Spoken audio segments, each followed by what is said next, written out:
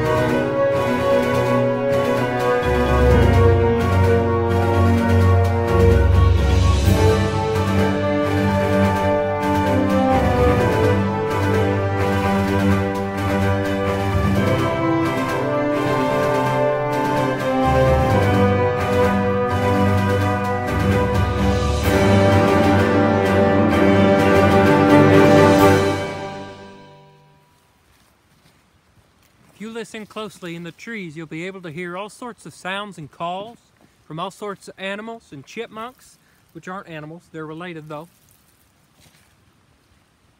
Now, sometimes when you're out here in the woods, you'll find yourself a happy little bush.